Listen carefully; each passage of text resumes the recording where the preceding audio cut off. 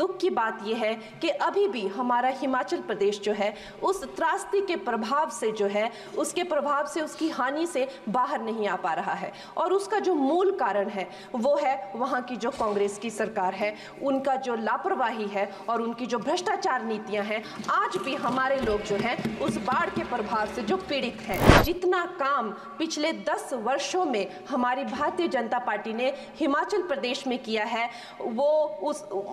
उतना काम हमारे आज़ादी के बाद 60 सालों में भी हिमाचल प्रदेश में नहीं हुआ था। कुमारी कंगना महोदय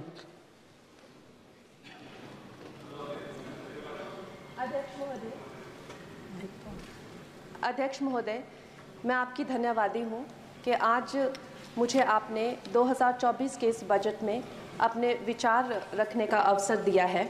और साथ ही मंडी क्षेत्र की जनता जिन्होंने मुझे अपना प्रतिनिधि चुनकर यहाँ उनके पक्ष की बात रखने का मौका दिया है, उनकी भी आभारी हूँ। ये जगह मेरे लिए बहुत नई है, मैं एक नई सांसद हूँ, मगर मुझे इस बात का आभास है कि ये जो 18वीं लोकसभा है, ये कोई सामान्य लोकसभा नहीं है।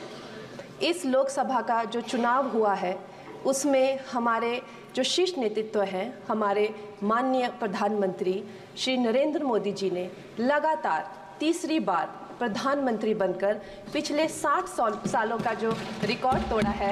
उसके लिए हम सब उन्हें जो है, वो हार्दिक बधाई देते हैं। साथ ही बधाई के पात्र हैं हम सब भारतीय जनता पार्टी के लोग, जिन्हें ये सौभाग्य प्राप्त हुआ। और मैं ये भी मानती हूँ कि हमारे भारतवर्ष की जनता, जिन्होंने एक स्थिर, सहज और सफल सरकार को चुना है और एक संकल्प को चुना है, वो भी बधाई के पात्र हैं। महोदय जी, हम सब जानते हैं कि आज से 10 साल पहले हमारे देश की अर्थव्यवस्था का क्या हाल था।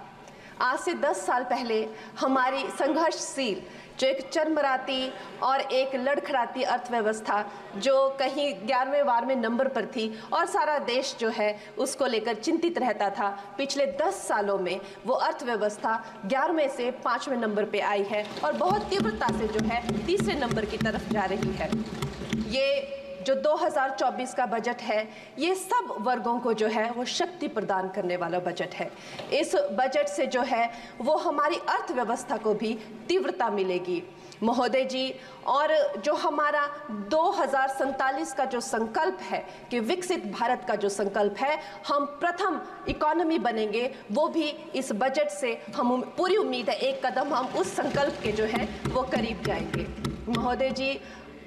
पिछले साल हमारे हिमाचल प्रदेश में एक बहुत बड़ा प्राकृतिक संकट आया। एक बहुत बड़ी बाढ़ आई जिससे ना जाने कितने जन, धन, पशु, ज़मीन की हमारे लोगों को जो है वो हानि हो गई। लेकिन दुख की बात यह है कि अभी भी हमारा हिमाचल प्रदेश जो है, उस त्रासदी के प्रभाव से जो है, उसके प्रभाव से उसकी हानि से बाहर नहीं आ पा रहा है। और उसका जो मूल कारण है, वो है वहाँ की जो कांग्रेस की सरकार है, उनका जो लापरवाही है और उनकी जो भ्रष्टाचार नीतियाँ हैं, आज भी हमारे लोग जो हैं, उस बाढ़ के प्रभाव से जो पीड़ित हैं। मैं आदरणीय और माननीय हमारी जो वित्त मंत्री हैं, श्रीमती सीतारमन जी का मैं आभार व्यक्त करती हूँ कि उन्होंने हमारी हिमाचल की जनता के लिए जो है, एक स्पेशल रिलीफ फंड की जो घोषणा की है, हम सब हिमाचल वासियों की तरफ़ से हम आपका अभिनंदन करते हैं और हम आपका आभार प्रकट करते हैं। महोदय जी मुझे ये जान के और आपको बताकर इस बात की खुशी भी होती है और खेद भी होता है कि जितना काम पिछले 10 वर्षों में हमारी भारतीय जनता पार्टी ने हिमाचल प्रदेश में किया है वो उस उतना काम हमारे आज़ादी के बाद 60 सालों में भी हिमाचल प्रदेश में नहीं हुआ था। आप सब आप सब हिमाचल जाते रहे और आप वर्षा सब- it is her maiden speech आप सब हिमाचल वर्षा it is her maiden speech. Kindly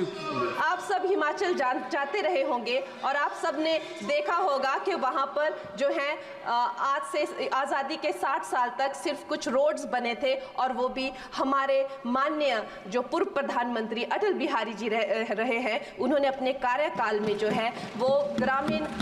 प्रधानमंत्री सड़क योजना के अंतर्गत वो रोड बनाए थे। लेकिन पिछले 10 वर्षों में प्रधानमंत्री नरेंद्र मोदी जी की सरकार ने हमारे क्षेत्र को जो है एम्स, ट्रिपल आईटी, आईआईएम जैसे वैश्विक स्तर के जो है वो संस्थान दिए हैं। और वंदे भारत जैसी ट्रेन को हमारे हिमाचल में पहुँचाया है। हमारे हिमाचल जैसे छोटे से राज्यों को साढ़े तीन हज़ार करोड़ की लागत का मनाली किरतपुर जो है वो हाईवे दिया हुआ है, जिसमें माननीय महोदय जी पाँच से ज़्यादा टनल हैं और सैंतीस से ज़्यादा उसमें ब्रिजेस हैं। ऐसे वैश्विक स्तर की जो है हमें इंफ्रास्ट्रक्चर वहाँ पर मिली है और साथ ही पूरे देश के लिए जो एक बहुत ही अद्भुत इंफ्रास्ट्रक्चर मार्बल है, जैसे कि हमारी अटल टनल 9 किलोमीटर की जो वो अटल अटल टनल है, विश्व की सबसे लंबी टनल है, और वो एक सिंगल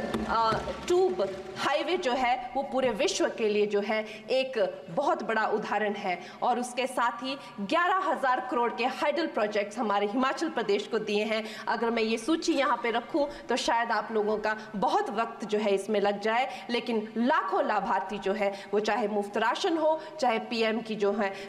वो मकान हो या आयुष्मान हो, हमारा हिमाचल प्रदेश एक ऐसे राज्य है जो जो पूरी तरह से शौच फ्री है और वहाँ घर घर में जो है, वो गैस चूल्हे का कनेक्शन लगा है। एक भी माता, एक भी बहन गैस चूल्हे के कनेक्शन के बिना नहीं है और मेरा ये जो सौभाग्य है 18वीं लोकसभा में, महोदय जी, मेरा ये सौभाग्य है कि जब मैं यहाँ पे आई थी, तब महिला आरक्षण बिल, जो राजनीति में महिलाओं को जो है 33 परसेंट आरक्षण देता है, वो मिल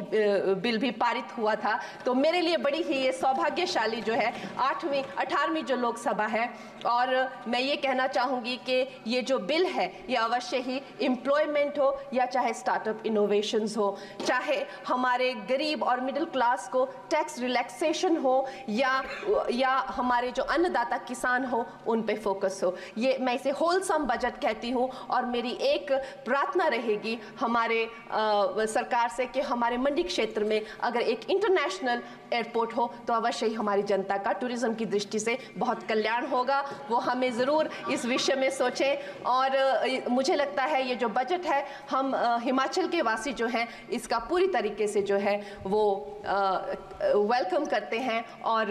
धन्यवाद।